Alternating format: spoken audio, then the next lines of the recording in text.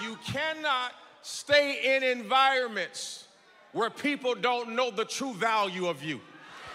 If you stay in environments where people don't recognize the value of you, you will shrink your gift to the size of what they can stand. And that's what causes anxiety and depression and stress because you have had to shrink into a form where people can tolerate you. I refuse to be small because you think small. I'm not shrinking my vision because you can't catch up. You either better roll with me or you gonna get rolled over.